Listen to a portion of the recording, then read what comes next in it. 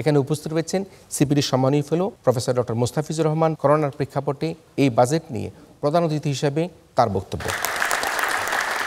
ধন্যবাদ। এই করোনার প্রেক্ষিতে সারা পৃথিবীতে কিন্তু আমরা দেখছি যে তিনটি ঝুঁকির মধ্য দিয়ে বিভিন্ন দেশ যাচ্ছে হ্যাঁ?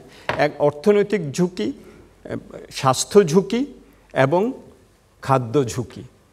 বাংলাদেশের কিন্তু একটা বড় জায়গা শক্তিমত্তা যে আমরা কিন্তু কোনো ধরনের খাদ্য ঝুঁকিতে এই করোনার মধ্যে পড়িনি। আমার মনে হয় যে এটা খুবই একটা ব্যতিক্রমী বিভিন্ন উন্নয়নশীল দেশের প্রেক্ষিতে এবং স্বল্পোন্নত দেশ তো বাদই দিলাম। এটা কিন্তু খুব বড় একটা অর্জন। আপনারা জানেন যে ইউনেস্কো বলেছে যে বাংলাদেশের মতো দেশ যে উন্নয়নের পর্যায়ে আছে, এখানে জিডিপির চার থেকে ছয় পার্সেন্ট শিক্ষায় দেওয়া উচিত। তো সেখানে কিন্তু আমরা এটা দুই পার্সেন্টের কাছাকাছি আছি। একটা কথা আমরা জানি যে প্রাইভেট ইউনিভার্সিটিগুলো হলো একটা ট্রাস্টের আন্ডারে। ট্রাস্ট বাই ডেফিনেশন সে কিন্তু কোনো প্রফিট করে না। সে তার যদি অতিরিক্ত যদি আয় হয়, তাহলে সেটা সে বিনিয়োগ করবে। ছাত্রদের স্কলারশিপে তাদের টিউশন ফি মৌকুপের প্রয়োজন আছে এই কোভিডের সময়। স্বাস্থ্য খাতে আমাদের এক পার্সেন্টের কম আমরা জিডিপির।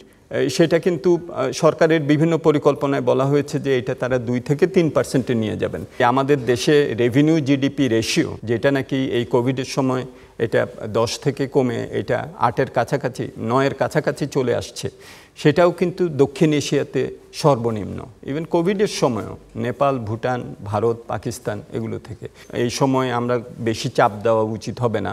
কিন্তু এক একটা যেটা নাকি আমার মনে হয় যে একটা প্রশ্ন যেহেতু উঠেছে এই সম্পদ আহরণের ব্যাপারে, এটা খুবই গুরুত্বপূর্ণ যে কীভাবে আমরা বৃদ্ধি করব। যারা নাকি ট্যাক্স দেওয়ার কথা, তারা দিচ্ছেন না দেশ থেকে টাকা পাচার হয়ে যাচ্ছে আমরা বারবার ধারাবাহিকভাবে এটা কালো টাকা সাদা করছি, যেটা নাকি আমরা বলেছি আমরা যে এটা এটা এটা অনৈতিক এবং এটা অর্থনৈতিকভাবেও যুক্তিসঙ্গত না এবং রাজনৈতিকভাবেও এটা কিন্তু কাম্য না। হাজার হাজার কোটি টাকা যেগুলো দেশের বাইরে চলে যাচ্ছে, সেগুলোকে আমরা আটকাতে পারব না, সেগুলো বিনিয়োগেও আসবে না। এই বছরও কত, চোদ্দ হাজার কোটি টাকার মতো কালো টাকা সাদা করা হয়েছে, তার মধ্যে টেন পার্সেন্ট রেটে সরকার চোদ্দোশো কোটি টাকা পেয়েছে। তো আমাদের এনবিআর এর তিন লক্ষের উপরে, কোটি টাকার উপরে, তার মধ্যে চোদ্দোশো কোটি টাকা কি? এক হাজার চারশো কোটি টাকা। খুব বড় অঙ্কের টাকা পেলাম নাকি এনফোর্সমেন্ট আরও শক্তিশালী করে ওই যে tax GDP ratio revenue GDP ratio নয় পার্সেন্ট থেকে সতেরো পার্সেন্ট করার দিকে মনোযোগ দিলেই আরও ভালো হবে। বাজেটের কিন্তু একটা বড় যে ফিলোসফি এটা হলো পুনর্বন্টন, খেয়াল রাখবেন। যে আমরা বেশি আয়ের যারা, তাদের থেকে নিয়ে আমরা কম আয়ের যারা, তাদেরকে সামাজিক সুরক্ষা ইত্যাদির মাধ্যমে আমরা পুনর্বন্টন করব। তো এই পুনর্বন্টনটা যখন আমার যদি করতে হয়, তো তাহলে কিন্তু আমার প্রত্যক্ষ করের জায়গাগুলোতে আমাকে কিন্তু সেটা সেটা বৃদ্ধি করতে হবে। সামাজিক সুরক্ষার কথাটা বারবার এসেছে, কারণ কোভিডের কথা আলোচনা করলেই তার যে অভিঘাত, নতুন দরিদ্র, যারা নাকি কর্মসংস্থান হারিয়েছেন, আমাদেরই একটা জরিপে আছে যে প্রথম ধাক্কায় যখন নাকি এটা পঁচিশে মার্চ বন্ধ হলো আমাদের এখানে দুই হাজার বিশ সালে, প্রথম তিন তিন মাসে কোনো না কোনো সময় ষাট পার্সেন্ট মানুষ কর্মহীন হয়ে গেছিলেন। পরে আবার তারা কাজে আসছেন। কিন্তু কীভাবে?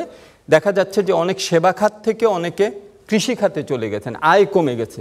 সো আনএমপ্লয়মেন্টের ফিগার যদি দেখেন, খুব একটা ব্যত্যয় হয় নাই।